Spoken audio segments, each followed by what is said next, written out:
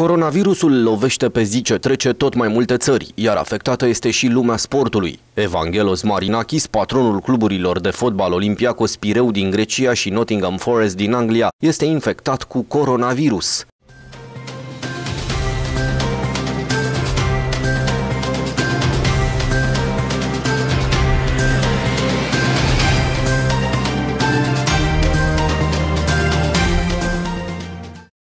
În ultima perioadă, Marinakis a asistat la mai multe meciuri de fotbal, ultimele două disputate în Anglia, respectiv Arsenal Olympiacos disputat la Londra în Liga Europa, precum și Nottingham Forest Millwall din Liga a doua engleză. Virusul m-a vizitat și mă simt obligat să anunț public acest lucru. Mă simt bine pentru că urmăresc și respect toate recomandările făcute de medici. Îi sfătuiesc pe toți conaționalii mei să facă aceleași lucruri. Vă urez tuturor o recuperare grabnică.